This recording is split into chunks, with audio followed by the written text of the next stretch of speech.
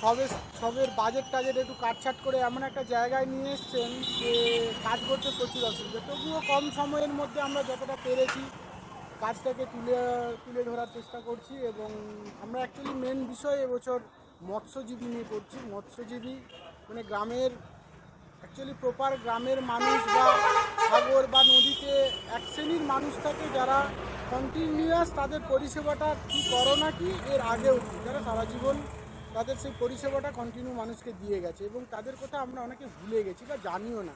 ঠিকমতো তাদেরকে লক্ষ্য করি না। তো তাদের জীবনীকে তুলে ধরার জন্যই আমাদের বিষয় ভাবনা এই বছর সাগর নদী দিঘি শিল্পীর চোখে মৎস্যজীবী তো দর্শনার্থীরা এসে প্যান্ডেলে কি দেখতে পাবেন?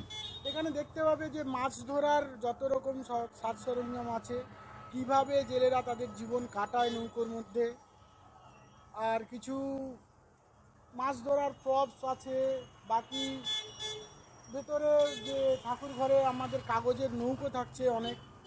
ছোট ছোট বড় বড় নৌকো আছে দুটো ছোট নৌকো থাকবে জল থাকবে মাছ থাকবে নানা রকম জিনিস থাকবে দেখাবো দর্শনে।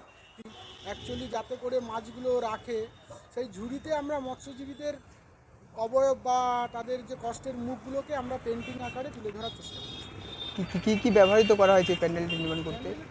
বেশিরভাগ তো প্রকৃতি ম্যাটেরিয়াল এবার কিছু আমাদের থার্মোকল বা ফোম জাতীয় বাকি তো বাঁশ কাটা আপনি দেখছেন এইসব দিয়ে ব্যবহার করতে অ্যাকচুয়ালি অনেক দিন থেকে ভাবনা ছিল, হয়তো আরও বড় করে করতাম। আমরা শিবায়নের একটা গান আছে, দুর্গার একটা রূপ আছে, যেটা মৎস্যারূপ। সেটা দেবী দুর্গা অ্যাকচুয়ালি মৎস্যজীবীর কন্যা রূপে জন্মগ্রহণ করে। সেখানে আমাদের এই বাংলা, গ্রাম বাংলাতেই কোলাঘাটের ওই দিকটায় এখনও ভোরের বেলা শিবায়নের বলে একটা গান সেখানে দেবী দুর্গা তার স্বামী মানে অ্যাকচুয়ালি শিবের জমিতে মাছ কুড়োতে যাবে, সেখানে ভাগনা রূপে আমাদের শিবের ভাগনা সেটাকে বাধা দেবে, সেটাকে নিয়ে একটা গান আছে, লোকগান। সেই লোকগান থেকেই এই চিন্তা ভাবনা